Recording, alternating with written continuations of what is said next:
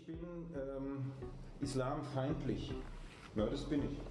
Ich, äh, ich, ich erkenne nichts Schönes. Und jedes neue Buch, was ich lese, und das sind keine AfD-Mitglieder, die diese Bücher geschrieben haben, jedes neue Buch, ob historisch oder zu aktuellen Dingen, jede Sendung etc., die ich gucke, bestärkt mich in dem Eindruck, äh, dass dies eine höchst unerfreuliche Religion ist, die, äh, wo immer sie äh, die Mehrheit hat, die Macht an sich reißen will und das fast immer tut, äh, jeden, der nicht dazugehört, und das erklären Sie selber, wer nicht dazugehört hat, ähm, äh, wo nicht liquidiert, mindestens zu Menschen zweiter und dritter Klasse äh, degrediert.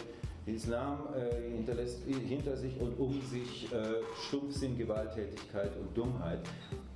Beispiel Türkei die Mehrheits-Erdogan-Fans. Wir können alle Länder durchgehen, wo der Islam in, in letzter Zeit an die Macht gekommen ist oder in noch tollerer Art an die Macht. Wir können über Saudi-Arabien zum Gaza reiten. Wir können äh, uns Indonesien anschauen. Wir können äh, zum Sudan gucken und in die Maghreb-Länder. Äh, und es hört nicht auf.